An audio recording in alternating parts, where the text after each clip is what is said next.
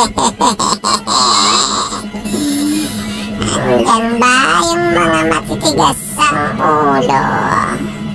Pasaway na chikiting.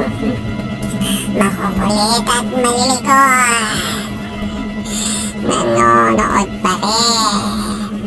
Hindi nakikinig at sumusunod sa magulang nila. Nandyan ba si Rafael? Nandyan ba si Ayon? Nandyan ba si Mira?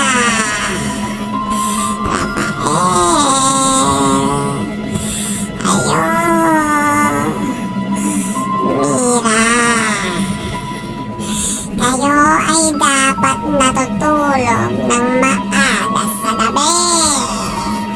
Hindi dapat kayo panay ang pagsiselfon. Gusto nyo bang puntahan kayo ng mumo?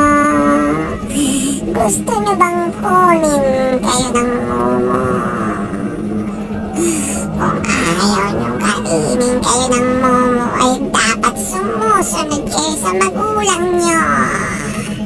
Tigilan nyo na yung pagsiselfon at matulog na kayo!